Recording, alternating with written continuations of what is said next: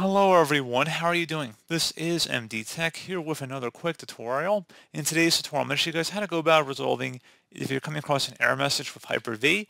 This is an error occurred while attempting to start the selected virtual machines.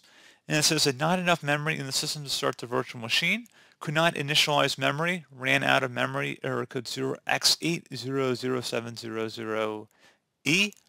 So it should be a pretty straightforward process. And without further ado, let's go ahead and jump straight into it.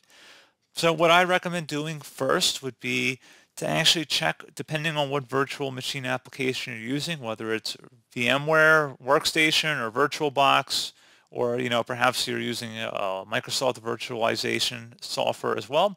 You want to go ahead and allocate additional memory to the system. So perhaps you're only giving it 512 megabytes or 1 gigabyte of RAM and it's not enough, you may want to consider bumping up the allocation for it.